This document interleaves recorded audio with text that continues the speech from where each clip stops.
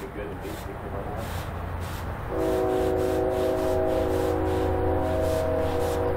Maybe a couple cute widows over the top that.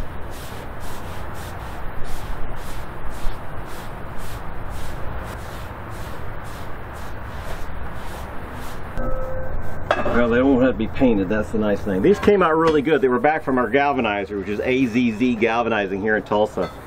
And it did a nice job of filling in the little cracks where we didn't weld. It looks like it's almost welded.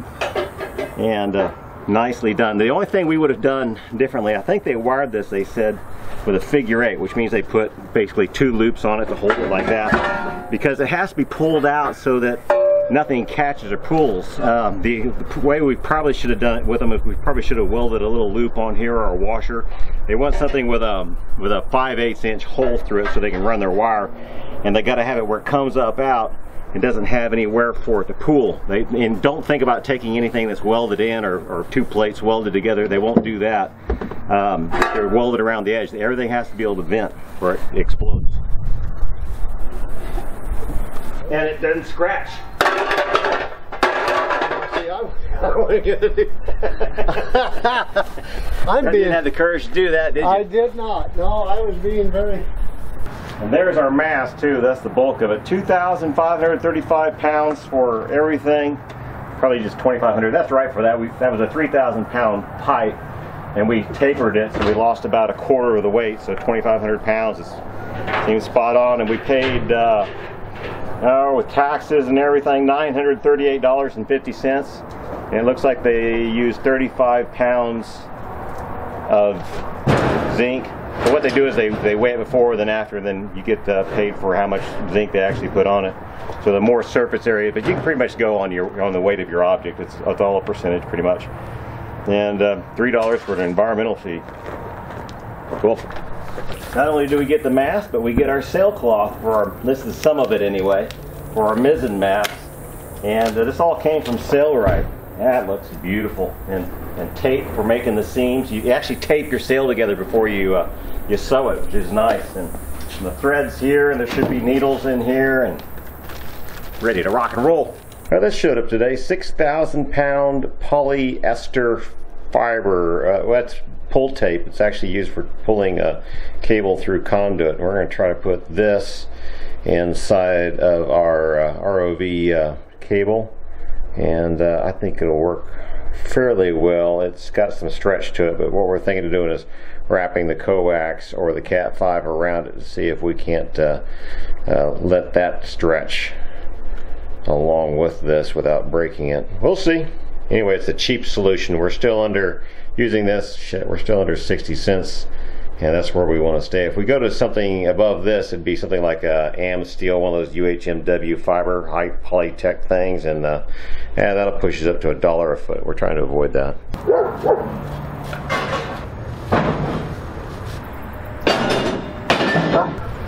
Right on. My God! Oh, those are cool. Neat. That's a gift. Obviously, I did not order this. Brian Tracy. Thank you, Brian. There'll be a YouTube video, I bet, that shows me how to sharpen the things. And, uh, oh, that's great. Anyway, thank you very much, Brian. And, uh, you know, YouTube is a fantastic place to get uh, an education. You know, if you, if you spend all your time watching stupid videos, you know, no, but there's a lot of great stuff out there. And, and if you want, if you really want to make the use of it, use the search engine for for things that you need to do.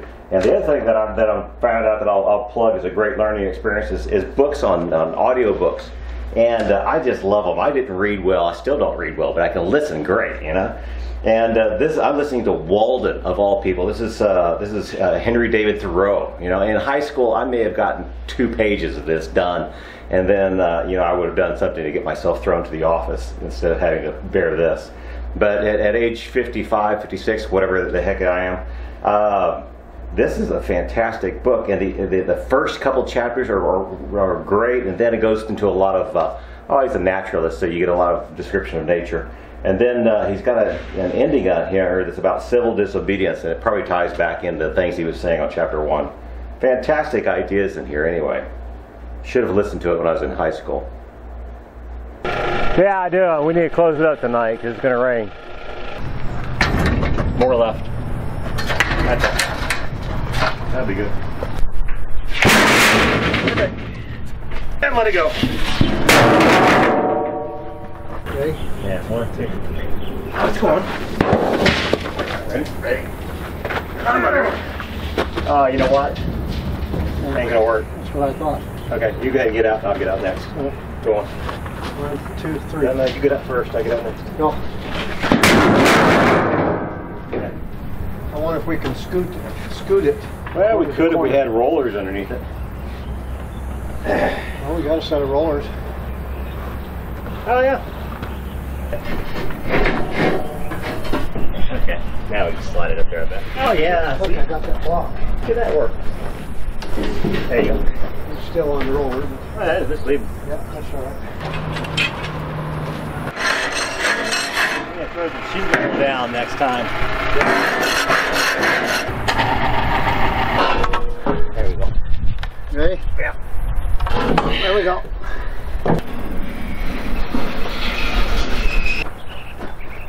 There to go.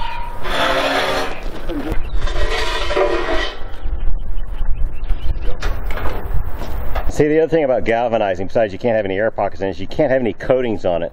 And you can see they've touched up here with a, like a, it's probably a thermal spray that they're using to, to galvanize it after the fact. After it comes out of the tank, they find the bad spots and hit it with that.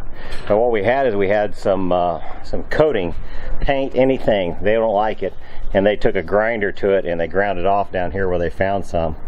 Uh, they were just being nice. Next time, you know, they're expect me to bring it in ready to go. Oh shit, that's what you're doing.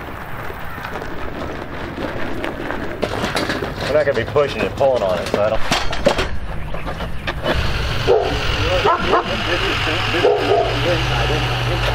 Yeah, look. Fancy. Oh, we gave another drop of blood to the boat. There. Brush. Cutting blade. I don't know how long it takes to heat it up. Obviously, not very long. Oh, that is sweet. In fact, he probably ought to let go of it every once while. It's burning it right there. Ah, very, very nice. All right, check this out. This is a wolf spider, and uh, she does have a poisonous bite, but it's not too bad. And she's got all of her little babies carried on her back. Wow.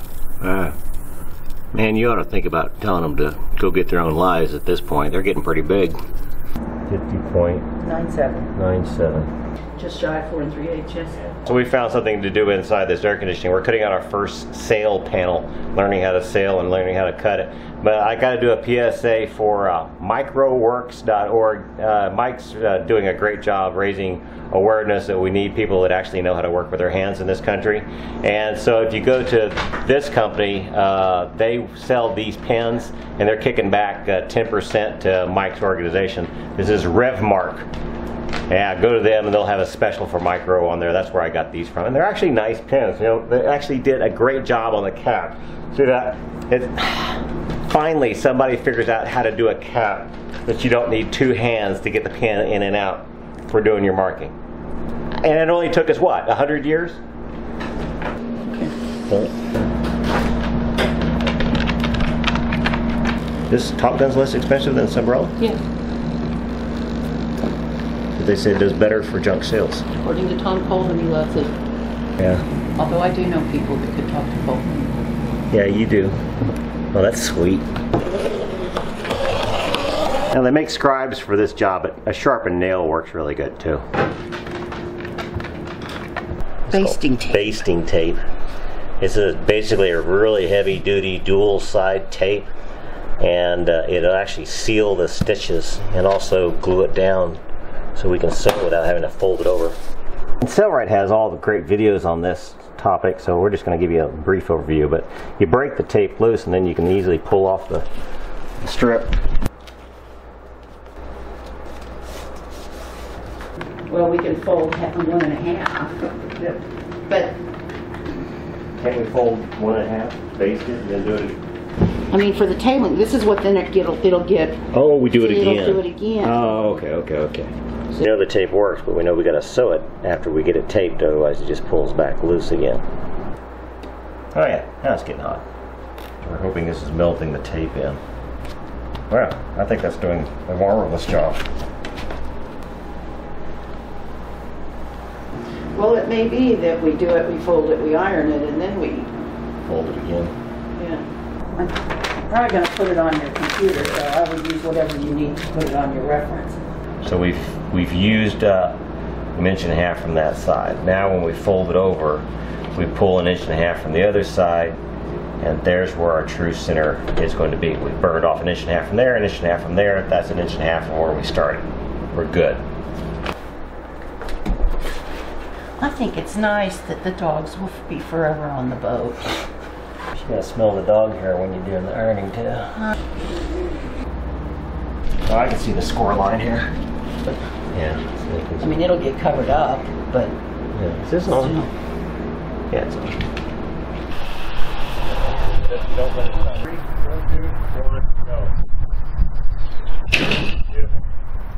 All right, one, two, three, left. oh boy. Not too bad. oh, Oh, we need some power out here, yeah. Oh, Randy, you did that really uh, well. Really. Let's measure it. Okay. See, one panel a day, that's 17 days per the, for the small sail, a month and a half for the large one. Next, we will install the new feed regulator lever found with the Easy Set stitch length plate components. Yeah, you can. Can you? Yeah, goes all the way up the top. Okay. Now we know how to do stitch length and zigzag, so we can change both of those components. So, we gotta check the tension.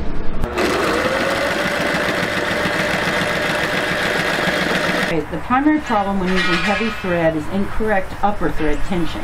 But I think your stitch, this is a nice stitch, honey. There's nothing wrong with that. I think so too. I think we should give it a whirl. Okay. Okay, swing, swing, swing. There. It's got a cardboard cord. Oh, it does? Perfect.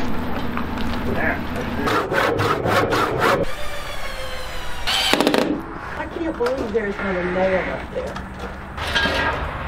All right, this this is just too nice. They don't have it this good in China. That's what. Oh. oh, you are such a Betsy Ross. That's the one that's getting bombed shit out of. The, My God, I do good work. the main armament. Put me in a sweat labor shop. Castle, whatever you want to call it. Yeah. Well, we have no clue. I used to Well, think they're we had a definitely in the gold set today. You know what? I've been I've been thinking about that goal setting thing. I, I, when I was a teenager Yeah. and I got out of high school in the afternoon, I had my afternoon planned down to uh, about 15 minute intervals. I knew exactly. You know, Okay. At the end of the day, did you feel like you accomplished something? no, it, it pissed me off. I was angry. because you didn't do everything you. I didn't get everything done on the list. And then when I fell behind, I started getting tense. And I thought, well, that's a fucking stupid way to work because you don't want to go to work when you go like that. I go to work now. I have I enjoy it. It's, it's fun, and I want to keep it that way. I don't go by a schedule, and it it kills flexibility. It's like, oh, that'd be cool to do that. Then if it's work, just go ahead and do that. You know, it doesn't matter. It's all work. It's all the boat. The ROV, the sails. It doesn't make any difference. Okay. So do what's enjoyable to you and what's in your mind at that time. Be present with your work rather than working to a schedule that you created for yourself to run like a robot. That's that's Just just to me that in Don't this age that's just stupid. Okay. But you you gotta admit though, This light needs to kind of hang so we can There's kind of setup go this time. way or that way. they set up, I write down, clean up, whatever. Oh, yeah. Mostly it And needs so here, if you- but like I'm aware of it all. we're cutting If it you have people come coming- way. You gotta get set up Yeah, that's what I and, do. and do that task. If not, you're constantly setting up, doing something different. Yeah, and I then all don't that, do it. And then all that time is wasted because you're setting up not to do be efficient at that task. Well, it's not always about being efficient. Yay. When I have people coming, it's about giving them somewhat of an experience that they want to have. And so what I do when if you if like when Bart's here, I tell Bart to do something. He just goes and does it, and he can help sell help somebody else set stuff up now. So Bart's a huge asset. But and Betsy Betsy too. When she's doing the sewing, she gets off on this. She'll bring you know Sue over or somebody, and they'll do the sewing. Uh, what I do when I don't know who the person is, I start working on something, and if they're standing behind me watching what I'm doing, they're doing a beautiful job. I just walk away and say, hand it to them that that's yours. You know that, but you can't always do that. You can never count on What it. about So the best back- thing again, about Going back one. Well, because the best way thing again is flexibility. I mean, I If know. I'm flexible, then it's like it doesn't matter, and I don't get stressed about it because well, that's not getting done. That's what I want to get done today. That's a horrible way to work when you don't know who you're going to be working with or what their skill is or what they like working Coming with. off of the next. Like Better the- to be just be happy with what you're doing and do what you can. But I deal with deadlines. So if you just stick one in here. In business world, we deal we with deadlines. If I was easily running a factory, it'd be a completely different thing, which is why most people don't like working in factories because him, they don't have control over it. Somebody else something does. As a factory, this is not a factory. Okay, I think we It's need. a sweatshop though. It is a sweatshop. Okay, there's two. I just know what to do.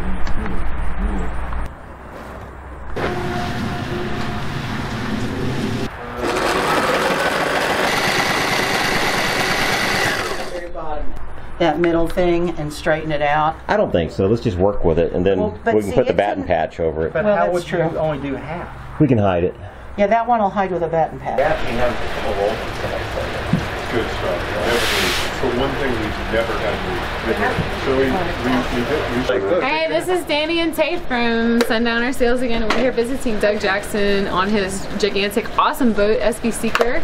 And we're headed back down on the end of our RV trip and we're gonna get on our plane, go back to our boat in Panama.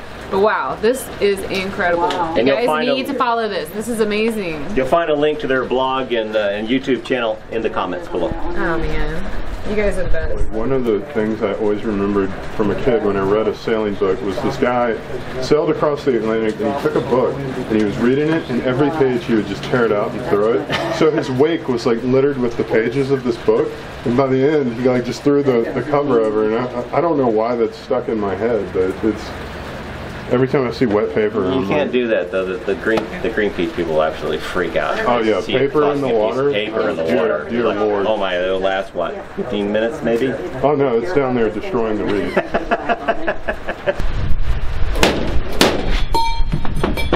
Well, that didn't hurt too much.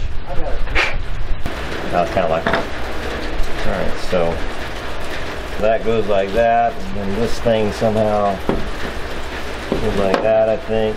This is number That three. like that. This like this, I think. There. Good deal. We need to. Is this the one they were using their little drill press thing on, or their little? Remember they had a hydraulic. You could use a press on it, I guess. But beating it, I think, works fine. This is when your tension goes wrong. We're going to be seeing something like that, and we're not sure that's too much or not enough. My guess is that's not enough. That's a batten, and those grommets are how we're going to hold it on, and I think the smaller ones are fine, but I like to have these pinch on much harder. becomes a cringle, which is a really strong thing to, that it will be able to pull out against. Okay.